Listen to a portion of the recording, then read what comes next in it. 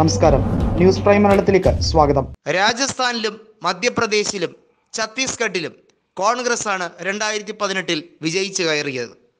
മധ്യപ്രദേശിൽ ഏറ്റവും വലിയ ഒറ്റകക്ഷിയാകാൻ വർഷങ്ങൾക്ക് ശേഷം കോൺഗ്രസിന് സാധ്യമായി ഇരുന്നൂറ്റി മുപ്പതംഗ സീറ്റിൽ നൂറ്റി പതിനാല് സീറ്റുകൾ കോൺഗ്രസ് നേടിയെടുത്തു. രാജസ്ഥാനിൽ അധികാരം തിരികെ പിടിച്ചു. നൂറ്റി അറുപത്തി മൂന്ന് സീറ്റുകളിൽ രണ്ടായിരത്തി പതിമൂന്നിലെ ഡിസംബർ തെരഞ്ഞെടുപ്പിൽ കോൺഗ്രസിനെതിരെ ബി ജെ പി ജയിച്ചപ്പോൾ അതിനെ ശക്തമായി തിരിച്ചു കൊണ്ടുവരാൻ കോൺഗ്രസിന്റെ നേതാക്കളായ അശോക് ഗെഹ്ലോട്ടിനും പൈലറ്റിനും കഴിഞ്ഞു എന്നുള്ളതാണ് സത്യം. മൂന്നിൽ രണ്ട് ഭൂരിപക്ഷമായി ശക്തമായ കരുത്ത് തെളിയിച്ച് ഛത്തീസ്ഗഡിലും കോൺഗ്രസ് അധികാരം പിടിച്ചെടുത്തു. എന്നിട്ടും തൊട്ടടുത്ത് വന്ന രണ്ടായിരത്തി പത്തൊമ്പതിലെ ലോക്സഭാ തെരഞ്ഞെടുപ്പിൽ ഈ മൂന്ന് സംസ്ഥാനങ്ങളും കോൺഗ്രസിനെ എങ്ങനെയാണ് കൈവിട്ടത്? മധ്യപ്രദേശിൽ ഒരൊറ്റ സീറ്റ് മാത്രമാണ് കോൺഗ്രസ് ജയിച്ചത്. അത് ചിന്തുവാര മാത്രമായിരുന്നു. ഛത്തീസ്ഗഡിൽ രണ്ടേ രണ്ട് മണ്ഡലങ്ങൾ മാത്രമാണ് കോൺഗ്രസ് ജയിച്ചത്.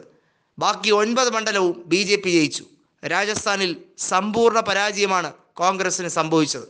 അവിടെ എന്താണ് സംഭവിച്ചതെന്ന് ഇപ്പോഴും വ്യക്തമല്ല. ജോധ്പൂരിൽ അവിടെ മുഖ്യമന്ത്രിയായ അശോക് ഗെഹ്ലോട്ടിന്റെ മകൻ പരാജയപ്പെട്ടതുപോലും ചർച്ചയ്ക്ക് വിധേയമായി. പഠനപ്പിണക്കവും ഗ്രൂപ്പ് പോരും തമ്മിൽ തല്ലുമൊക്കെ വലിയ വിവാദമായ വർഷങ്ങളായിരുന്നു അതൊക്കെ. ഇപ്പോഴിതാ വീണ്ടും ഒരു തെരഞ്ഞെടുപ്പ് പടിവാതിൽക്കൽ എത്തി നിൽക്കുകയാണ്. രണ്ടായിരത്തി ഇരുപത്തി മൂന്ന് രണ്ടായിരത്തി പതിമൂന്ന് ആവർത്തിക്കാതിരിക്കാനും രണ്ടായിരത്തി പതിനെട്ടിലെ വിജയം കുറച്ചുകൂടി മിന്നുന്ന തരത്തിൽ കോൺഗ്രസിന് അനുകൂലമാക്കാനും രണ്ടായിരത്തി ഇരുപത്തി മൂന്നിൽ സശ്രദ്ധം സൂക്ഷിച്ചു തന്നെയാണ് കൈകാര്യം ചെയ്യേണ്ടത്. വലിയ തെരഞ്ഞെടുപ്പ് തോൽവികൾ ഏറ്റുവാങ്ങിയ കോൺഗ്രസിന്റെ ഇനിയുള്ള പ്രയാണം എന്നത് തെരഞ്ഞെടുപ്പിൽ ഐക്യത്തോടെ വിജയിക്കുക എന്നതാണ്.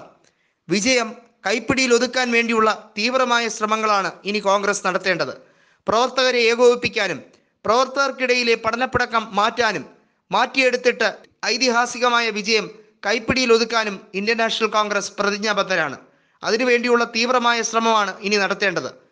രണ്ടായിരത്തി ഇരുപത്തിനാലിലെ പൊതുതെരഞ്ഞെടുപ്പ് മുമ്പിൽ കാണുമ്പോൾ ഇതൊരു സെമിഫൈനൽ തന്നെയാണ്.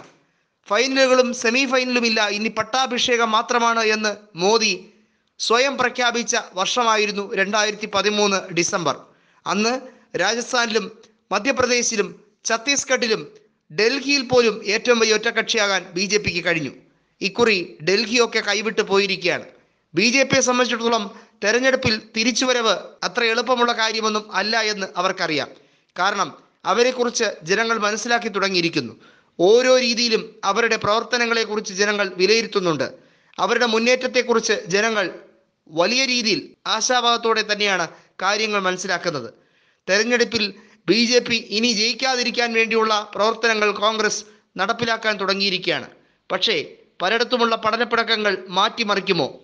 ഒന്നാമത്തെ കാര്യം മധ്യപ്രദേശിൽ കമൽനാഥിന്റെ കൂടെ നിൽക്കുന്നവർ എത്ര പേർ? ദിഗ്വിജയ് സിംഗിന്റെ ആളുകൾ കമൽനാഥിനോടൊപ്പം നിൽക്കുമെന്ന് ഉറപ്പിച്ചു പറയുമ്പോൾ അത് സാധ്യമാകുന്നത് എങ്ങനെയെന്നുള്ളത് കൂടി മനസ്സിലാക്കേണ്ടതായുണ്ട്. മധ്യപ്രദേശിലെ പ്രശ്നങ്ങൾ ഏകദേശം കെട്ടടങ്ങിയിരിക്കുന്നു.